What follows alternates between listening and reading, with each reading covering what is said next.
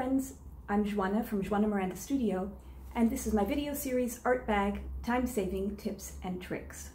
If you've watched some of my earlier videos, you'll remember that I've talked a lot about uh, this, which is my Noodler's uh, Ahab Flex fountain pen. I'm a big fan of this pen. It's not expensive, about $23, and I really think it's a great pen.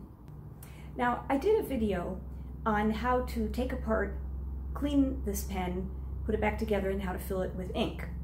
Uh, but in today's short and sweet video, I'm going to talk about what to do when your Noodler's Ahab pen has ink in it. As you can see, there's ink in here. Hopefully you can see that. But it's not flowing. And I will show you what I do when I encounter that issue.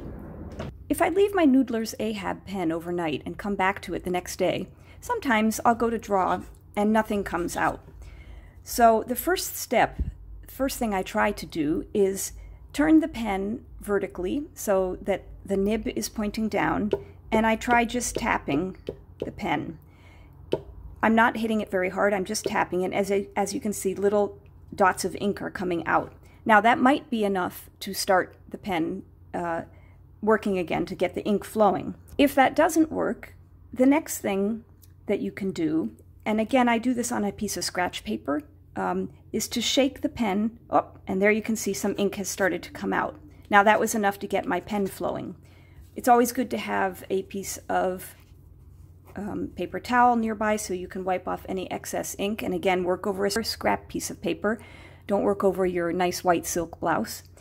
And the third thing you can do, if neither of the tapping or the shaking techniques work, is that you can actually turn the pen upside down so that the tip is pointing to the ceiling, then turn it over, shake it again, and that should help get your pen flowing.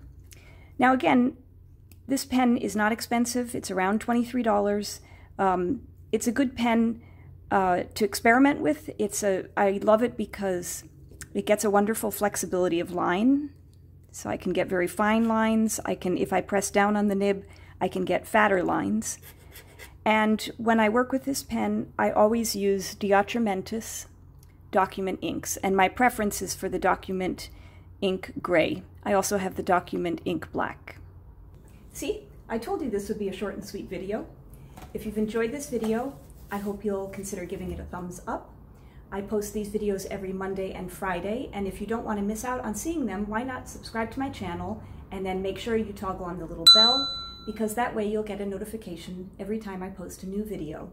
Thanks so much for watching.